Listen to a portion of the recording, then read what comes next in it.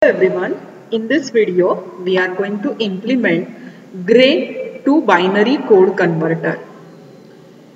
For the conversion of gray code, we'll consider one random number as 1101. So here this is G3, this is G2, G1 and G0. To convert this gray code into binary, we'll be using XOR gate logic. For getting B3 output, we'll consider G3 input as it is. So whatever value we have at G3, we'll take as it is for getting B3. For B2 generation, we'll be connecting or using two inputs. One which is generated from previous input and next input. So this is our b2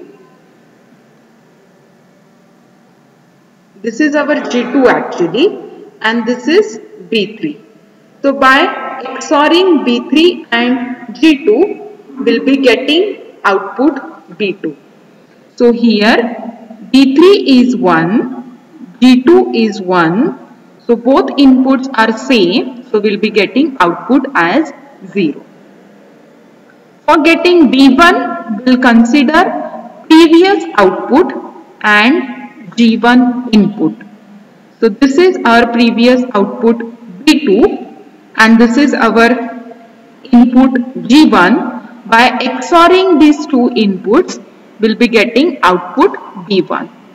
So here B2 is 0, B1 is also 0, both inputs are same, so we'll be getting output as 0. Now we'll move towards the next part. For the generation of B0, we'll be using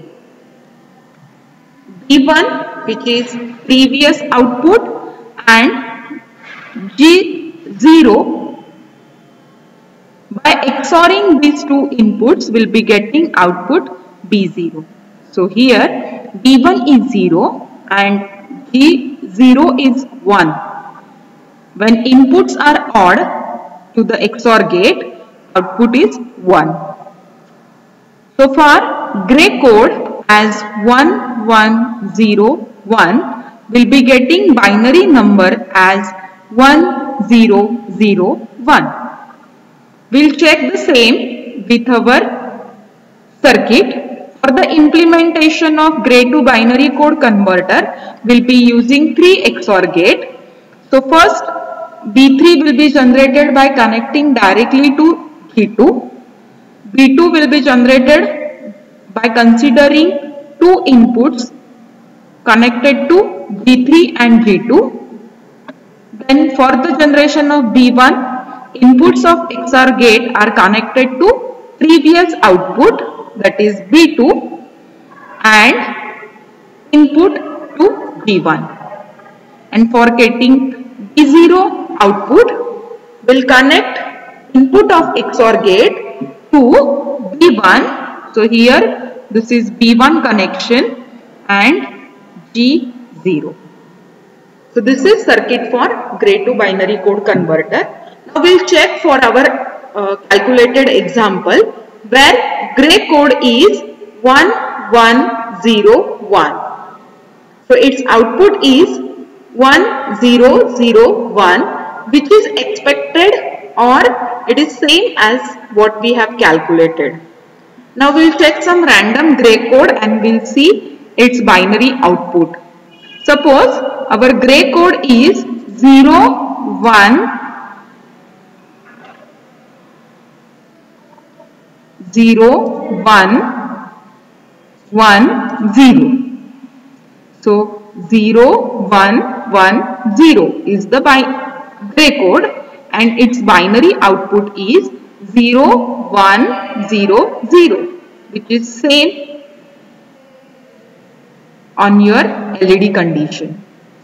Now we'll provide input as 1, 0, 1, 0. So this is our input as 1010. Its gray code is 1100. So you can see first two LEDs are in on condition and next two are in off condition. That means it is 1100. Now we'll check second last input as 1110. So this is our gray input and its binary output is 1011 which is expected as per our truth table. Now we'll check last gray input as 1111 will be getting output as 1010 which is same as our truth table. So this is how you can implement gray to binary code converter in CircuitMod software and you can check or give any gray code number which is 4 bit will be getting its equivalent binary output.